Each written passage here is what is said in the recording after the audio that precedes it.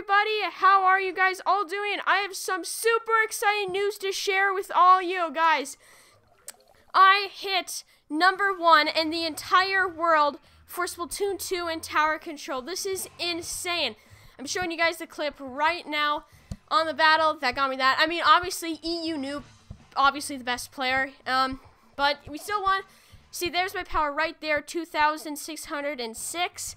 And my position right there, I went from 2 to 1 right there. Look at that. I got ranked number 1 in the entire world in tower control. This is huge. I'm just so happy right now, and I just really wanted to share with you guys. This is so good. Whoa, number 1!